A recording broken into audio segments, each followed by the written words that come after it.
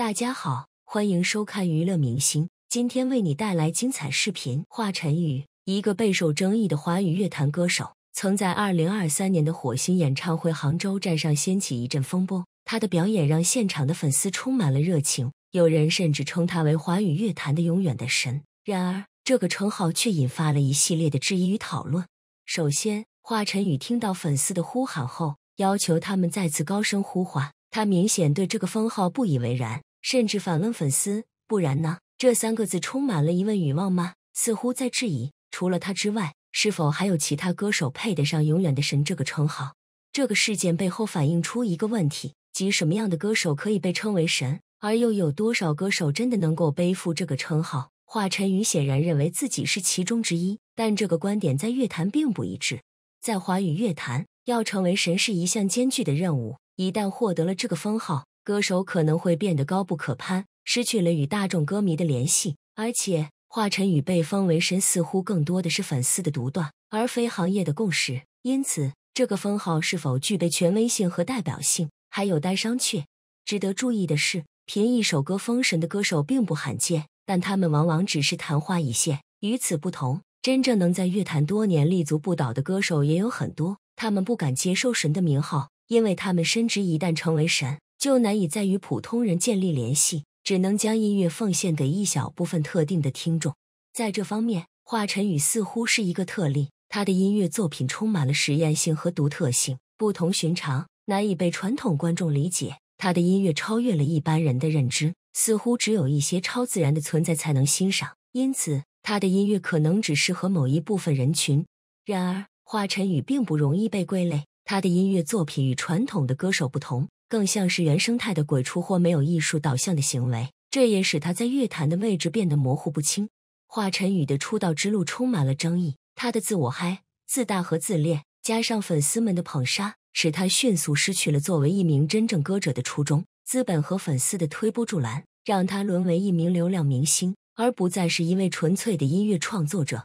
然而，令人意外的是，尽管华晨宇的音乐作品没有传世之作。却在一定程度上获得了成功。他频繁出现在各种音乐综艺节目中，甚至坐在评委席上评判其他成名歌手。这种现象令人不禁思考：他的音乐作品是否真的值得如此高的评价？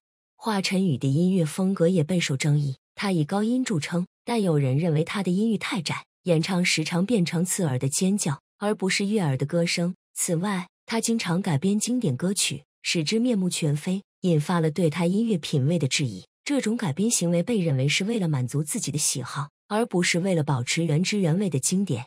对于一名出道已有十年的歌手来说，华晨宇的专业实力与声誉似乎并不匹配。他虽然是一名知名的头部歌手，但他的音乐作品与他的实际才华不相符。这种不匹配也使他的不然的的态度显得更加自大和自恋。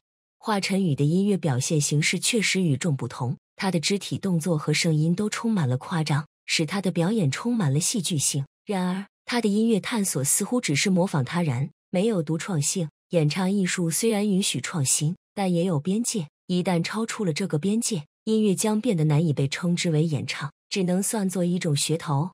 综合来看，虽然华晨宇在华语乐坛取得了一些成就，但他是否值得被封为永远的神，仍然存在争议。他的音乐作品不符合传统音乐标准。他的表演风格太过夸张，使得很多人难以欣赏。在乐评人和音乐爱好者中，对于他的音乐才华持有不同的看法。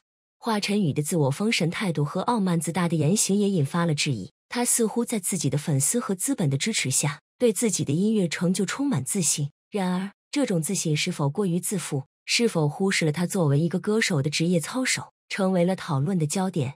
不然呢？这三个字。似乎是华晨宇对自己的一种自我催眠，一种不自知、不知羞耻的表现。他似乎忘记了，无论在音乐才华还是道德品行上，都需要谦卑和谨慎，不应该过于自恋和自大。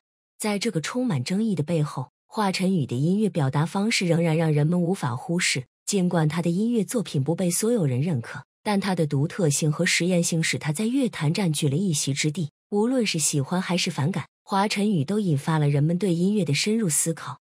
总之，华晨宇是一个备受争议的音乐人，他的音乐作品和自我封神的态度在乐坛引发了广泛的讨论。无论如何评价他，他都在音乐领域创造了自己的独特空间，这也让他成为了一个备受关注的歌手。在音乐的世界里，多样性和争议是不可或缺的。正是这些不同声音，使音乐更加丰富多彩。